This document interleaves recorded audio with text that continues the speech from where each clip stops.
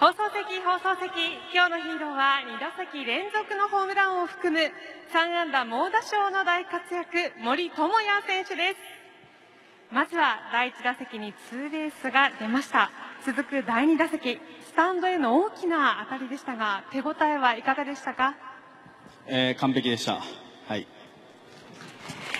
続く第3打席も2打席連続となるホームランでした。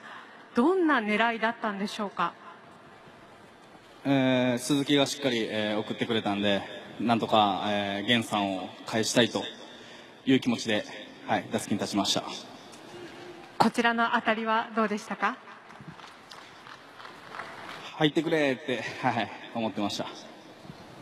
今日は今もですが笑顔も出て表情もリラックスしているように見えました、まあ、結果がなかなか出ない時はいろいろな思いあったと思いますが改めていかがでしょうか？えーそうですね、久しぶりに打席の中でも少し余裕があって、なんとなく打てるんちゃうかなっていうのはあったので、気持ち的にもすごい楽な気持ちで、はい、今日は試合に臨むことができました。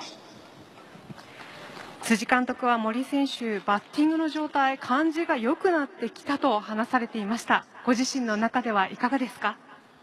そうですね、少しずつ良くなってきてたんですけど、まあこれといって一本が出なかったんで、えー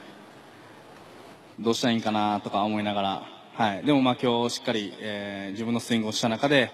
しっかり打球を飛ばすことができたんで、えー明日につながるんじゃないかなと思います。ライオンズらしい打線の勢いも出てチーム連敗ストップです明日へ向けての意気込みをお願いします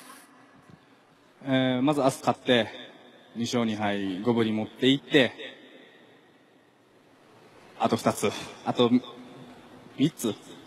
はい、全部勝ちたいなと思います。ありがとうございます。今日のヒーロー、森友哉選手でした。今日のヒーロー2本のホームランを放ちましたの森